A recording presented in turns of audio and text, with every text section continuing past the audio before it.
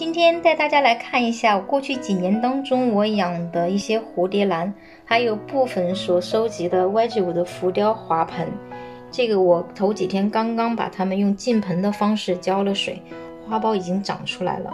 这个是浅蓝色螺形状的花盆，这个是深蓝色，这个是我比较喜欢的粉色。这个高脚盆里面有两颗蝴蝶兰，也开满了花苞。看，虽然我已经浇过水了哈，但是它有时候还是这个叶子比较干瘪，我就用这个纸巾啊浸满了水给它贴在上面，这个也是一种让它吸取营养的方法。这颗蝴蝶兰是以前已经快要死掉了的一颗，但是被我给拯救回来了。这个也是我很喜欢的一款。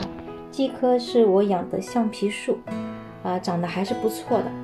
这个器型就很特别，然后胖胖的、圆滚滚的。然后这两颗原则上来讲，它不是花盆，它是花瓶，上面还有一个盖子是带孔的，就可以插不同的花。